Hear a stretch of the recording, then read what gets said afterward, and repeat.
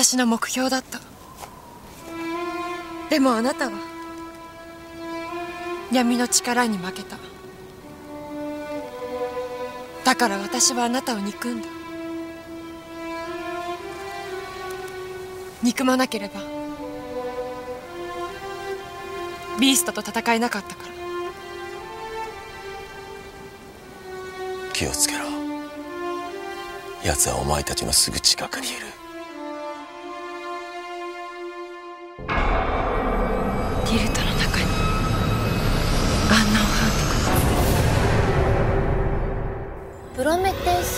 ジェクトこれイラストレーターじゃん。なあしおり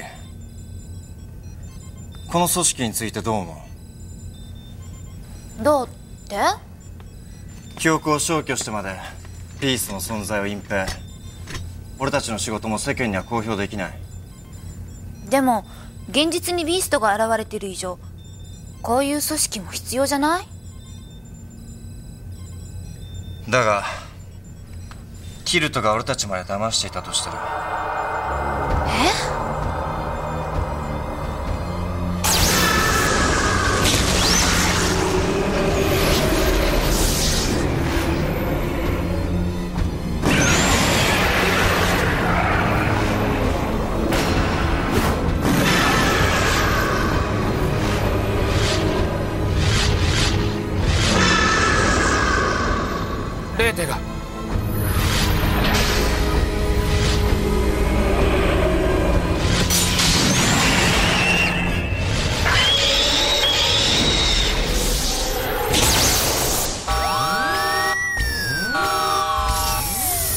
どうした？侵入者があったようです。場所は？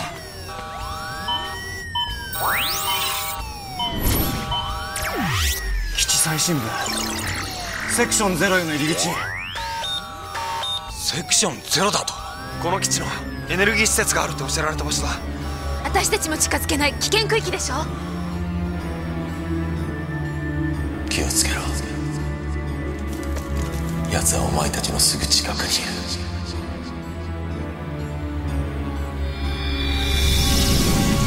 自動防御システムが働いて逃げていったようです。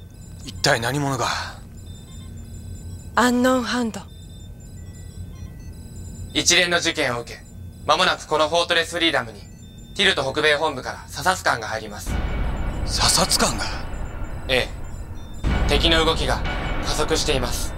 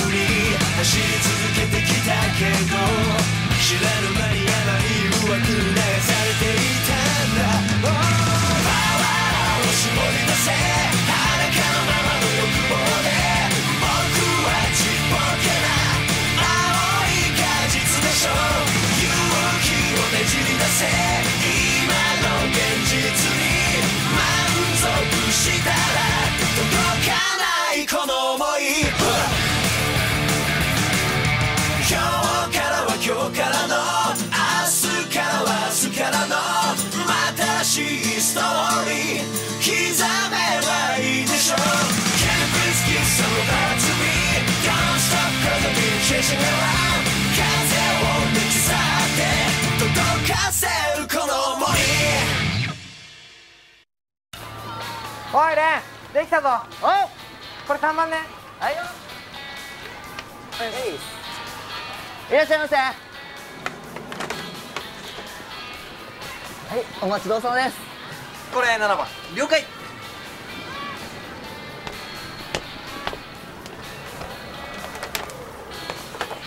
君名前は？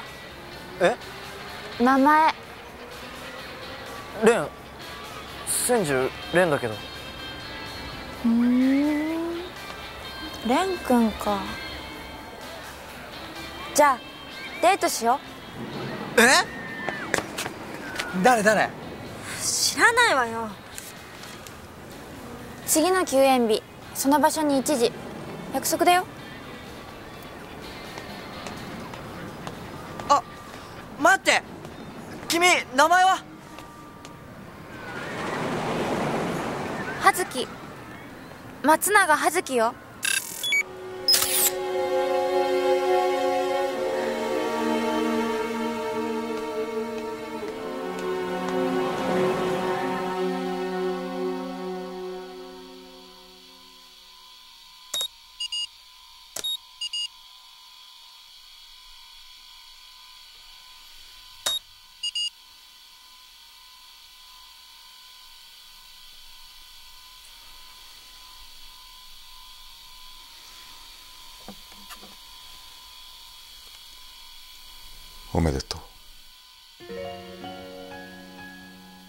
あなたちょっと出かけてきますね。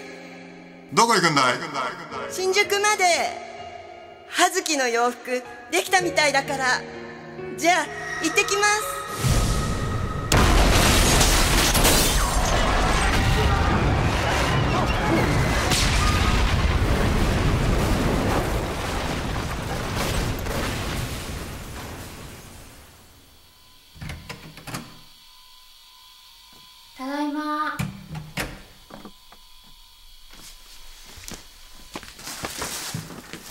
おかえり葉月来てたんだ。帰ってただろ？いつまでいるの？すぐ行かなきゃいけないんだ。またしばらく戻れないと思う。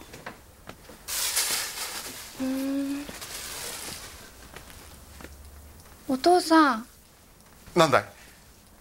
昨日何の日か覚えてた？母さんの誕生日。葉月今度。あ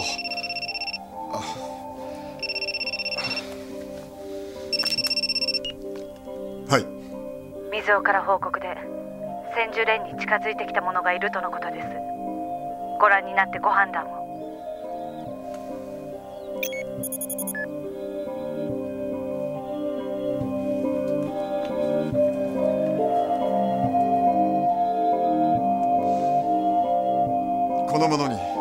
監視の必要はありません。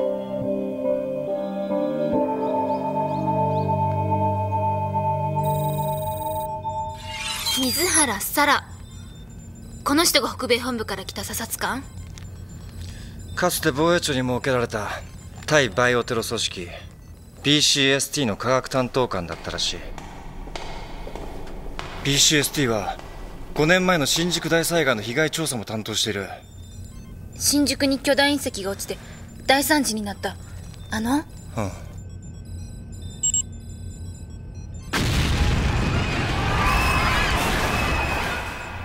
でも隕石とバイオテロってどう関係が？彼女例のプロメテのこと妙な間柄だぞ。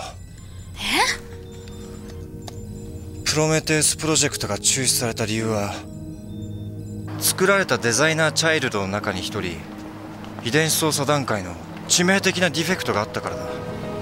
致命的な defect って？その子は1718歳のある日細胞のアポトーシスが突然全身で起こりその進行が止まらない。それって死ぬってことじゃ？ん何か治療法はないの？特効薬とか？その特効薬の開発を中止させたのが水原沙羅だそんな。それじゃその子は見殺しってこと？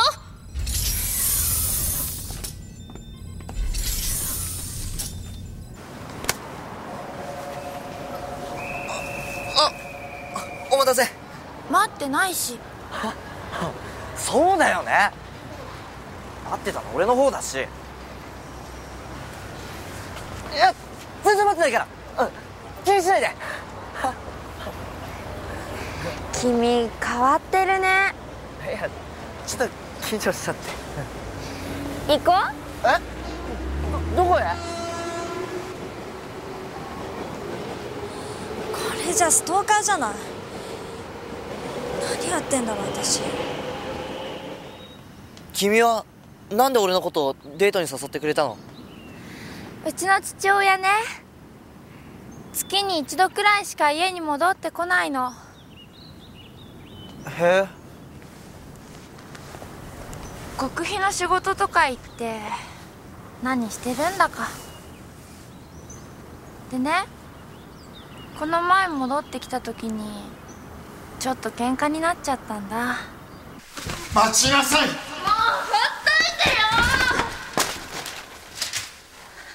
ごめんなさいいいから。約束があるんだ。早く行きなさい。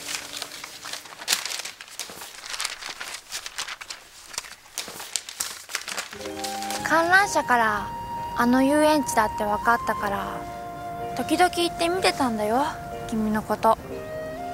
気づかなかった？は全然。ねえ君何者？いやえ何者？ってって言われても。それ探ってやろうと思ってデート誘ったんだ。でもなんかどうでもよくなっちゃったな。蓮くんがどんな事情を抱えてるのかわからないけど少なくとも悪い人じゃない。それだけでいい。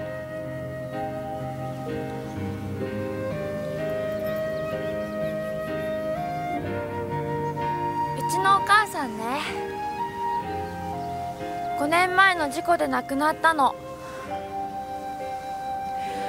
覚えてるでしょ？新宿大災害。あ。ここね。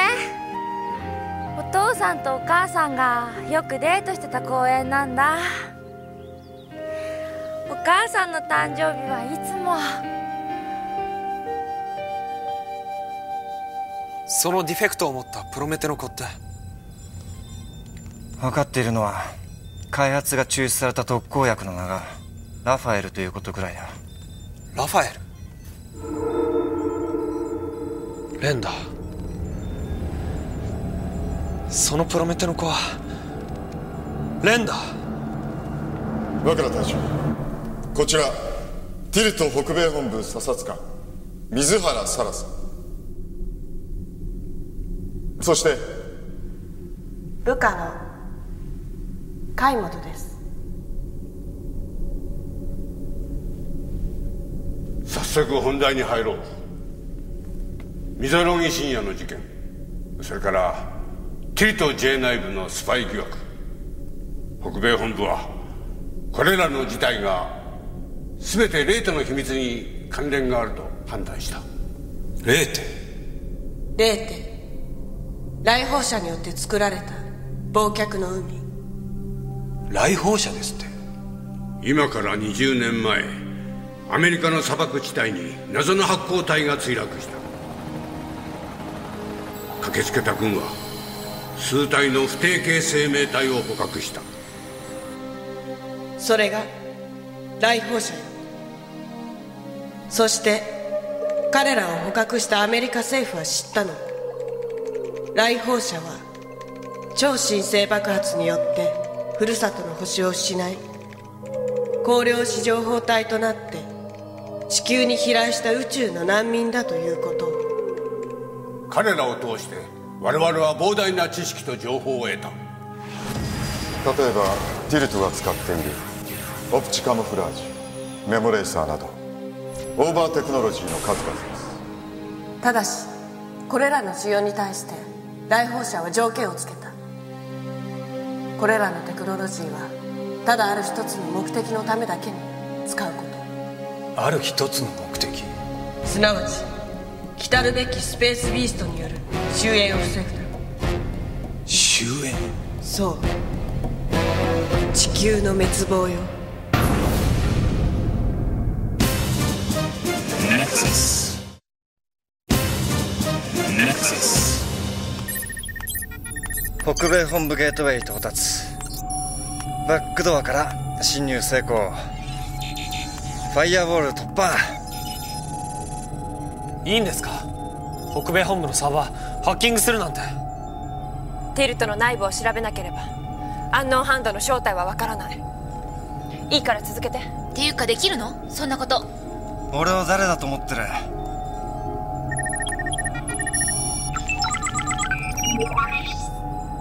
やばい。気づかれた。どうしたの？クソパッチでバックドアを塞がれた。ダウンロードできたのはこれだけです。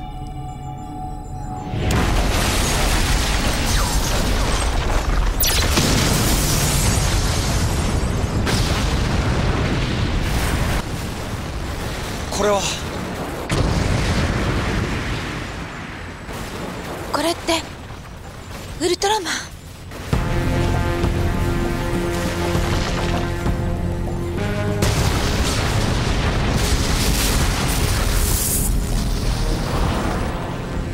この街は新宿だ。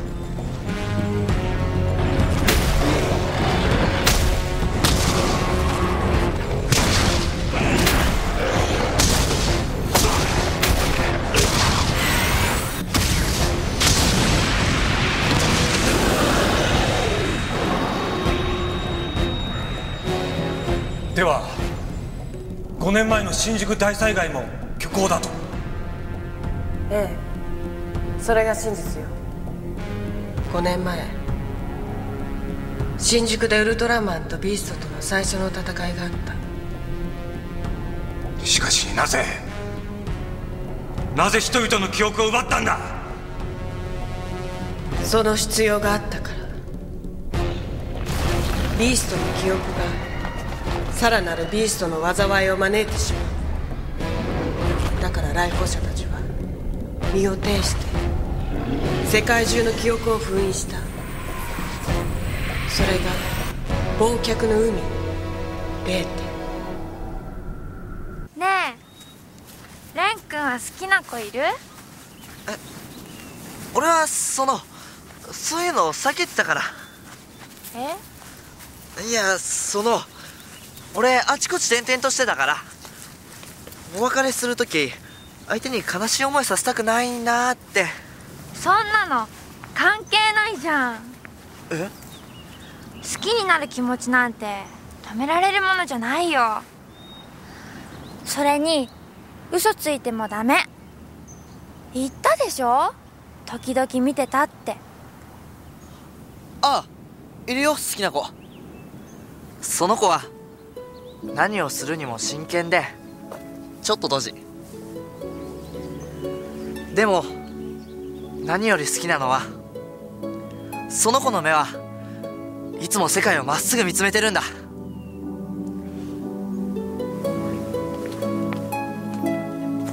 見つけた。タッチ交代。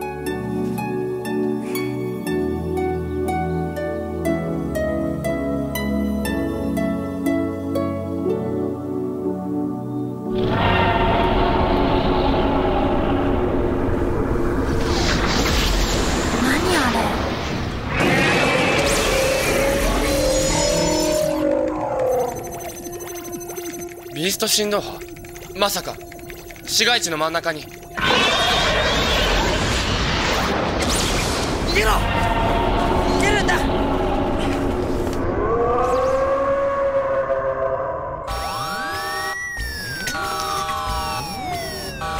エリア12ポイント428にビースト振動波確認。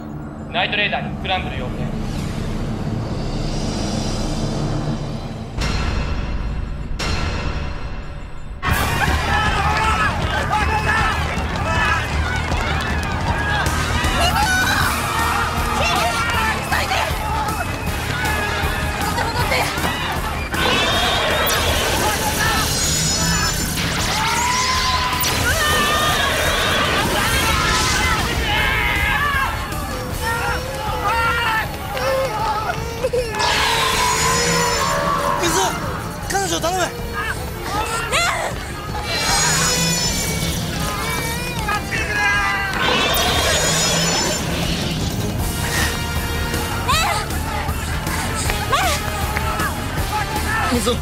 子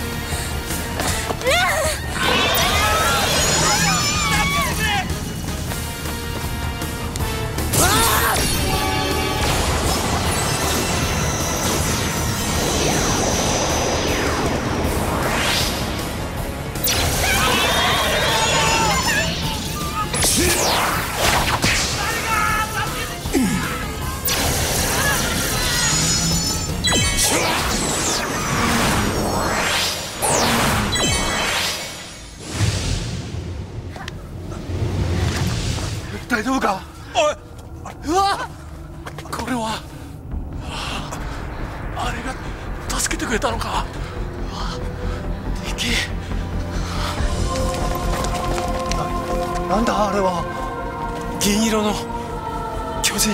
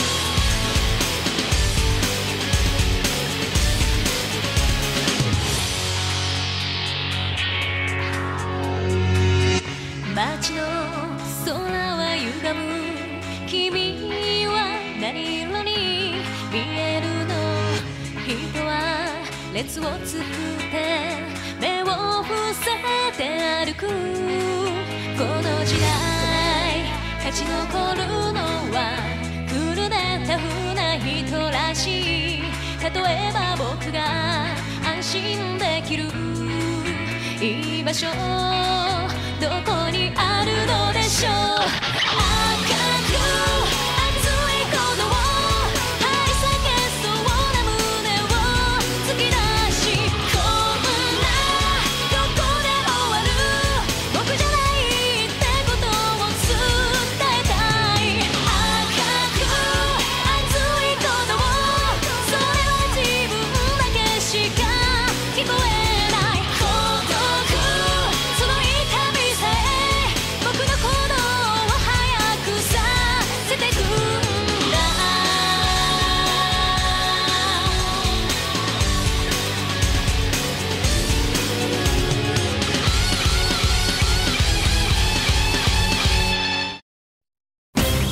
アンノウンハンドの目的は明白です。ウルトラマン。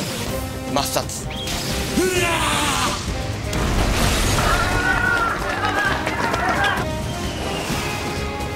レン。これだけの大規模なリアルタイムでの情報操作は初めてのことですがすでに一体の封鎖は完了しています。奴らは恐怖を求めそれを捕食する生命体